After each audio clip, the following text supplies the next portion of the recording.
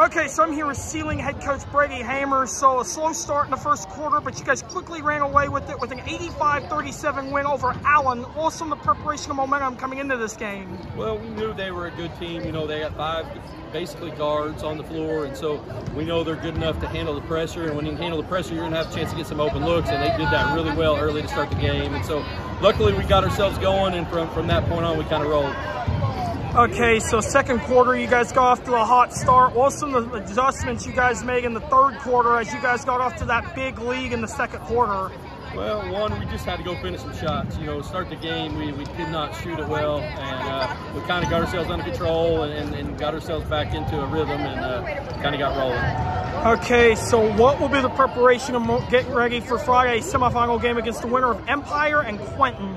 Well, um, don't know who's going to win. They're both good teams, and so we'll kind of watch this deal and scout it out and try to get ourselves ready for another 9 a.m. tip.